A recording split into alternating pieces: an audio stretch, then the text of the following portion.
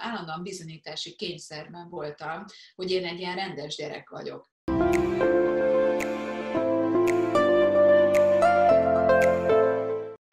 Köszöntöm Önöket, Kadarkai Endre vagyok. Ma Almási Kitti fog elmondani, hogy mi volt az ő legnagyobb félreértése.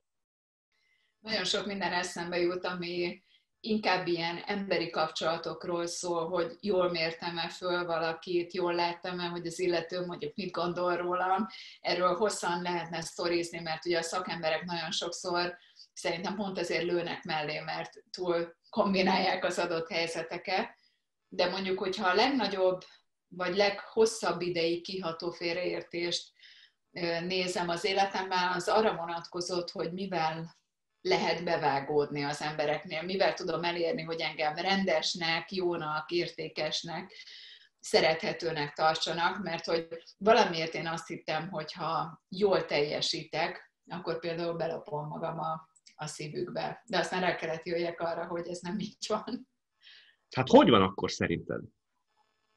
Ugye én ezt megírtam az egyik könyvemben, hogy egy nagyon ismereti csoportban próbáltam sorolni, hogy ezt is csinálom, azt is csinálom, és még amaszt is csinálom, és nagyon lelkesen mondtam nekik, hogy ugye biztos akkor érdeklődni fognak irántam, és aztán egy nagyfokú érdektelenséget tapasztaltam, tehát hogy pont ezért, mert nem magamról beszéltem, hanem csak a teljesítményeimről, vagy az erőfeszítéseimről, nem igazán ment át az, hogy, hogy ki vagyok. És ott azt tanultam meg azon a a csoporton abban az intenzív öt napban, hogy azokhoz az emberekhez tudnak kapcsolódni, akik az érzelmeikből, adott esetben a sérülékenységükből, tényleg az emberi mi voltukból tudnak valamit mutatni, és ez annyira csak a felső réteg, és tényleg annyira csak a, a teljesítménykényszer, hogy ez alapján te nem tudsz kapcsolódni egy emberhez. És ezt maximálisan megtapasztaltam a munkám során, amikor jön valaki, és elkezdi sorolni a szerepeit, vagy a nagyszerű tetteit, ami szuper, de az, hogy ő ki, abból sajnos nem lehet érezni. Jól értem, te egy ideig kvázi hencegtél, vagy így nagyon előtérbe toltad magad azért, hogy mások szeretetét vagy rokon szemét megnyerd? Hencegni nem hencegtem, hanem szerintem talán azt tanulhattam meg, lehet, hogy édesapám vélt vagy valós elvárásaira hagyatkozva, hogy, hogy igen, kell külön órát csinálni, ott ügyesnek lenni, jól tanulni, nem tudom. Tehát inkább azt hiszem, hogy volt egy teljesen félreértelmezett felfogásom arról, hogy, hogy az egy belépő egy másik ember szívébe, hogyha ezeket rendesen sem. Tehát nem hencegés, hanem inkább szerintem állandóan bizonyítási kényszerben voltam, hogy én egy ilyen rendes gyerek vagyok. Valami ilyesmi. És ebben volt egy óriási váltás, hogy a rendes gyerekséghez nem lehet érzelmileg kapcsolódni, azt annyit lehet mondani, hogy jó, akkor ezeket rendesen csinálod, de ettől még sótlan vagy, nincs ízed, szagod. Te ilyen voltál? Sótlan voltál? Az nem, azért ahhoz nem, tehát azért szerintem, szerintem sok mindent csináltam, és aztán utána, amikor már elkezdtem ide-oda menni, mondjuk szerepelni, akkor, akkor nagyon sok helyen éreztem egy olyan kényszert, hogy, hogy ugye úgy elmondjam, hogy én hol mivel foglalkozom, és volt egy olyan pillanat, ahol azt éreztem, hogy én most mindezt csak azért sorolom, hogy ők ennek tudatában kommunikáljanak velem, hogy igenis tartsanak valamire, mert hogy én, én csinálom ezt is, csinálom azt is, és tehát nem tudom, érthető ez az erőlködés, hogy akkor így, így tartsatok valakinek, mert hogy én mi minden dologban benne vagyok, és hogy hát, ha nem is nevetségesnek láttam, hanem olyan, olyan szomorúnak ezt az igyekezetet utólag. Volt egy konkrét helyzet, és mondom, mit erőlködök? Tehát, hogy most én ezt miért csinálom? Most, most miért akarom, hogy valahogy, hogy és akkor átbillent ez a dolog oda, hogy vagy olyan vagyok, hogy kialakítok valamilyen érzést, vagy sorolhatok én bármit, bármeddig, akkor sem alakítottam ki. Tehát, hogy volt egy ilyen átbillenés egyszer, hogy ne erőlködjek már annyira, hogy,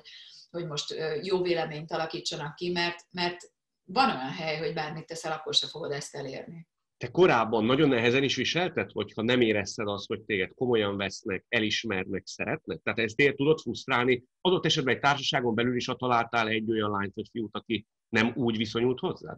Igen, legyen egy tisztelet abban, ahogy hozzám szólnak, vagy viszonyulnak. És, ez volt, hogy korábban elmaradt? Hát szerintem mindenkinek az életében van ilyen, amikor, amikor ez elmarad. Most ez teljesen mindegy, hogy, hogy milyen ö, körülményből fakad ez a de, dolog. Nyilván évekig hozteszkedtem, ugye abból éltem jó részt így az egyetem mellett, hogy különböző ilyen alkalmi munkákat vállaltam, és azért abban is nyilván voltak olyanok, hogy azért vannak emberek, akik úgy bánnak a, a hosteszekkel is, akik ott állnak, mint egy bejáratnál, segítenek tájékozódni, hogy mi hol van, mint hogyha azok valami cserédek lennének, és igen, ezek nagyon bántottak, és ott nyilván az emberben berszenkedik az, hogy elmondja, hogy figyelj, nem egy hülye gyerek vagyok, hanem nem tudom, akkor még ez volt bennem, hogy nem egy hülye gyerek vagyok, hanem mondjuk éppen a PhD tanulmányaimat folytatom a, az egyetemen, és akkor amire rájöttem az az, hogy ugye nem azért jár a tisztelet, mert te mi mindent más csinálsz, hanem az jár. Tehát, hogy ez nem ehhez kapcsolódik, hogy az ember tolja oda mindig, hogy ő, ő egyébként mennyire szorgalmas, hanem egyszerűen azt meg kell követelni, akkor is, hogyha nem csinálok semmi mást, mert az jár. Tehát ebben mondom, hogy egy félreértés volt, hogy akkor még nem tudtam, hogy mitől ér valamit az ember, miért jár egy embernek mondjuk a tisztelet, vagy az, hogy ember számba vegyék, és azt hittem, hogy ahhoz dolgokat kell tenni, hogy ez járjon ma, meg már ezt teljesen másképp gondolom, mert szerintem ennek semmi köze az ilyen végzettségekhez, vagy erőfeszítésekhez. Ez, ha jól sejtem, akkor te úgy gondolod, hogy elsősorban a gyerekkorból fakadhat, tehát nagy volt a teljesítmény nyomás rád nézve, tehát egy folyamatos teljesítménykényszernek voltál kitéve, egy állandó megfelelési vágynak? Érdekes, mert ugye édesapám mindig ilyenkor eszemű, de ő nem nyomasztott ebben. Tehát nem is tudnék fölidézni olyat, hogy, hogy ő nyomatná ezt, vagy számon kérne, vagy nyilván azt láttam, hogy, hogy mivel általában jó teljesítményt viszek, ezért megjelent a szokásos mondat, hogy hogy, hogy az csak négyes lett, tehát hogy azért ilyen volt, de nem ez a, ez a nagyon nyomasztó, főleg nem számon kérő környezet. Nyilván egy gyerek abból indul hogy mikor lehet, hogy tényleg földerül a szülő arca. Tehát, hogy azért azt láttam, hogy avval örömet tudok okozni a jól tanulok. Nehéz lenne megtalálni, mondom, hogy így nem is lenne kedvem, hogy a szüleimet hibáztassam, de tényleg nincs is ilyen konkrét emlékem. Valahogy a környezet ezt hozta belőlem, hogy állandóan azt akartam, hogy megfeleljek valaminek, ami lehet, hogy csak az én vélt elvárásom volt magammal szemben egyébként.